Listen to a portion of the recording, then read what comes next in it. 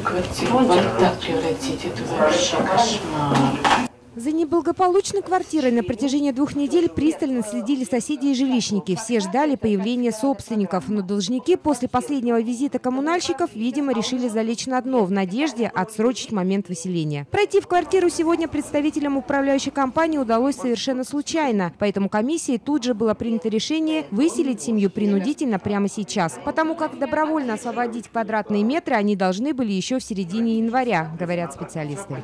Уже третий раз пришли, уже на выселение. Сегодня поймали.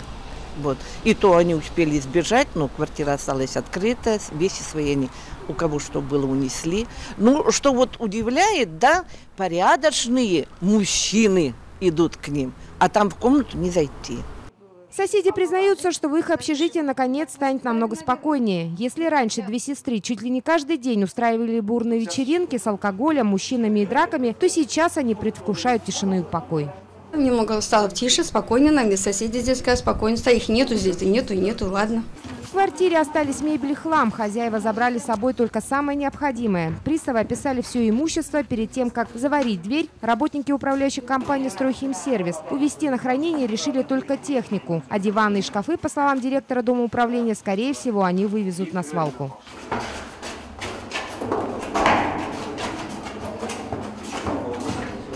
На сегодняшний день за услуги ЖКХ горожане задолжали управляющим компаниям более 350 миллионов рублей. В Нижнекамске это первый случай выселения, когда взамен собственникам не предоставляется другое жилье. В этом деле довести все до конца помогли соседи, говорит специалист департамента ЖКХ.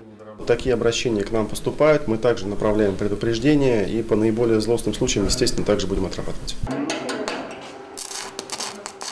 Жилье останется за детьми должников, которые прописаны по данному адресу. Ну а если выселенные собственники снова решат вернуться в свою квартиру, то сделать это будет практически невозможно.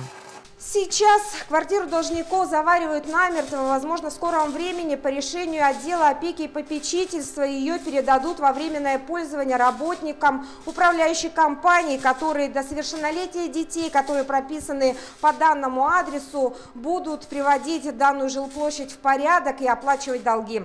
Вера Муратова, Максим Галимзянов. Новости Татарстана. Стал очевидцем события и хочет, чтобы о нем узнали? Присылай фото и видео, а также вступай в нашу группу ВКонтакте «Мобильный репортер 24».